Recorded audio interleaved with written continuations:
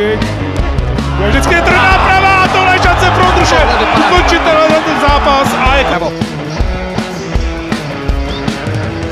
to vidíme a tenhle úder se ještě nepřišel, ale hlavně rozhodčí moc dobře viděl, že